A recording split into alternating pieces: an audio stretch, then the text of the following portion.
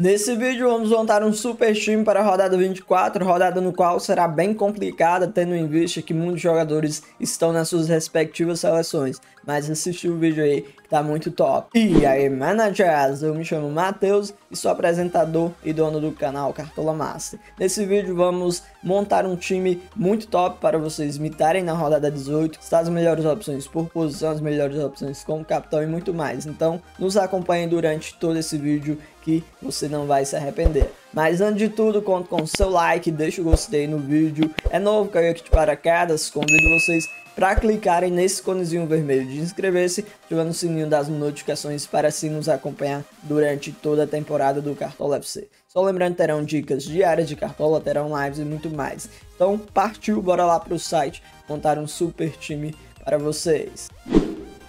Galera, já estamos aqui no site do Cartola FC. Minha última pontuação foi 56 pontos, uma pontuação mediana.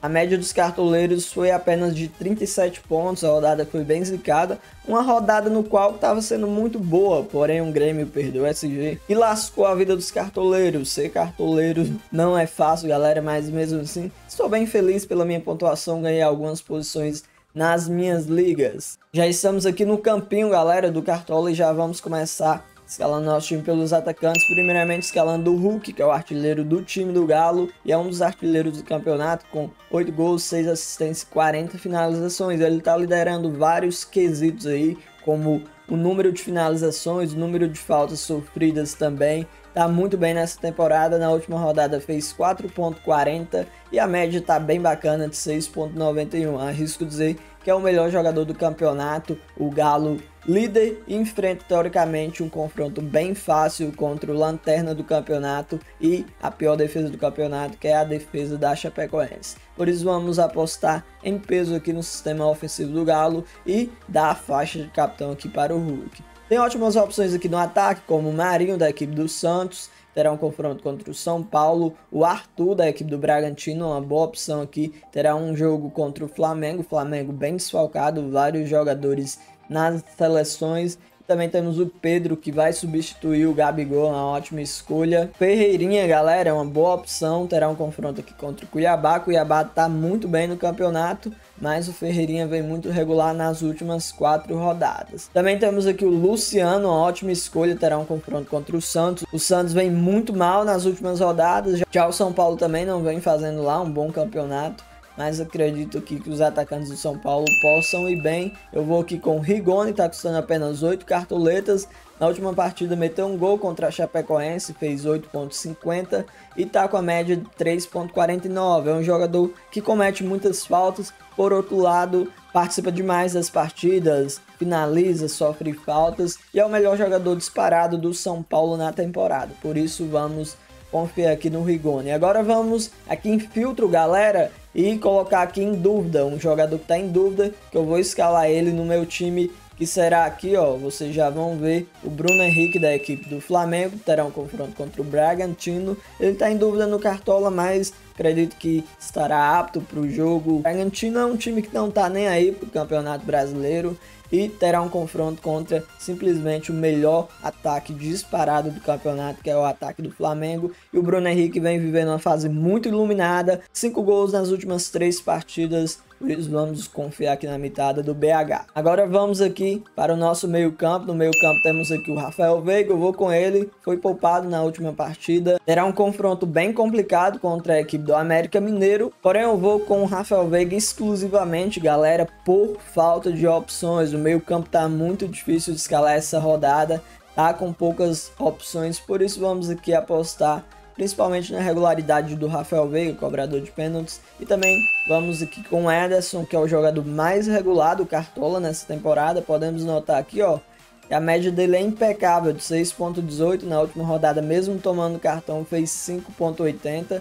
E é um jogador que não precisa, não precisa marcar gols ou dar assistência para pontuar. Ele desarma muito, ó. Tem 73 desarmes também é bom em outros quesitos, como assistência e gols marcados. Comete poucas faltas, por isso é um jogador impecável para o Cartola tentar no seu time essa rodada, principalmente pela regularidade e já que no meio campo tá bem complicado nessa rodada. Também temos aqui o Nath Fernandes, vendo negativada, não vou com ele porque ele não é tão bom assim para Cartola, mas pode surpreender. Temos o Andréas Pereira, será o homem de armação do Flamengo nessa partida, já que o Flamengo vai ser um Arrascaeta e o Everton Ribeiro. E o nosso último meio campo, galera, será uma grata surpresa do campeonato, que é o Guilherme Castilho da equipe do Juventude. Podemos notar que ele vem muito bem nas últimas quatro rodadas, só mitada, galera. E é um jogador que finaliza demais, ó, e comanda a bola parada do Juventude. Já tem 3 gols, 2 assistências, 24 desarmes, tudo isso em 18 partidas, vem muito bem no campeonato. Nas duas últimas rodadas mitou, por isso vamos apostar na boa fase do Guilherme Castilho, que terá um confronto contra, contra a equipe do esporte. O esporte vem muito mal no campeonato, por isso vamos apostar aqui no Guilherme Castilho, tendo em vista que o Juventude é um time que sempre marca gols, todas as rodadas marca gol, por isso vamos apostar aqui na boa fase do Guilherme Castilho. Agora vamos para as laterais. Nas laterais tá bem complicado também, mas o nosso primeiro lateral será o Wanderson, que arrisco dizer que é o melhor lateral direito do Campeonato Brasileiro. Ele e o Arana são os melhores laterais, na minha opinião. Na última rodada, ó, fez 4.10, deu uma assistência, tá com a média de 5.24. O Grêmio terá um confronto bem complicado aqui contra a equipe do Cuiabá. O Cuiabá é um bom time, mas o Wanderson é muito bom, galera. Ele, ele é bom ofensivamente e defensivamente. Podemos notar ó, que tem 3 gols marcados, 3 assistências e 43 desarmes. É muito bom para a Cartola, vem com a regularidade e não negativa. Podemos notar ó, que ainda não negativou nessa temporada do Cartola, por isso e vamos com ele. Também temos aqui ó, o Felipe Luiz, que é uma boa opção, assim como o Guga, porém eu vou descer um pouco mais para baixo, indicar o Saravia também, que é uma boa opção, terá um confronto contra o Ceará. Jogo fora de casa, o Inter tem uma defesa muito boa, tomou um gol bobo da equipe do Galo, mas é um time que defende muito bem, por isso que o Saravia aqui eu vou recomendar uma ótima opção. Mas o nosso último lateral será o Dodô, que será o substituto do Guilherme Arana. É um bom jogador para Cartola, tá com média de 3.83, 10 desarmes em 7 partidas, sete faltas cometidas, mas vamos confiar aqui na mitada do Dodô diante da equipe da Chapecoense, que é a lanterninha do campeonato. Agora vamos aqui para nossa zaga, galera, indicar boas opções. Temos o William Arão, que joga fora de posição, joga como volante, só começa com SG, mas ele ultimamente não está desarmando tantas bolas assim, não está pontuando tão bem. Também temos aqui o Mercado, zagueiro da equipe do Internacional. O Nino, zagueiro do Fluminense, uma boa opção. O Arboleda, galera, vem muito bem o Arboleda. Ó. Em sete partidas fez incríveis 23 desarmes e é muito bom na bola aérea, sempre finaliza quando São Paulo tem escanteios ou algo do tipo. Por isso vamos aqui com o Arboleda, na última rodada perdeu o SG fez 5 pontos. Essas pontuações dele são sempre boas mesmo sem SG, por isso que vamos apostar na Arboleda, que é aquele típico jogador que não precisa de SG para pontuar bem. Por isso vamos aqui com ele. Eu achava até que ele tinha sido convocado pelo Equador, mas pelo visto não foi convocado, já que no cartão está como provável.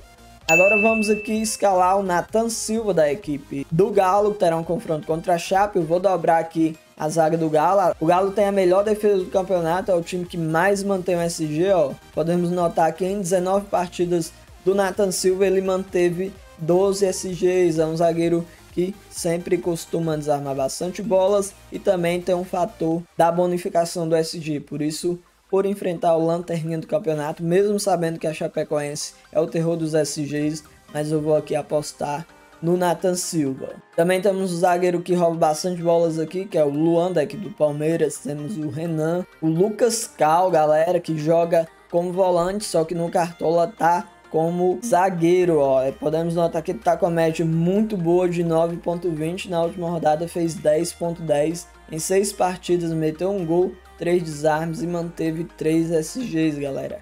É um bom jogador para cartola, já que joga fora de posição, joga mais avançado e começa com SG. Por isso que eu vou indicar aqui o Lucas Cal. Agora vamos para o nosso goleiro no gol. É, temos aqui o Thiago Volpe, que acredito vai ser bem acionado, tendo em vista que tem o Marinho do outro lado, que costuma finalizar bastante. Também temos o Marcos Felipe, que acredito seja uma boa o Everson também, galera, é muito bom para Cartola, podemos notar as pontuações dele. Para vocês que é, querem ir com Everson, vou recomendar E também temos um goleiro que vem vivendo uma boa fase, que é o Daniel, que vai estar no meu time. O Internacional tem um sistema defensivo muito bom, terá um confronto contra um time que não costuma marcar tantos gols assim, que é o Ceará. O Daniel, em 20 partidas, fez 68 defesas difíceis, manteve 9 SGs e está com a média muito boa 4.91.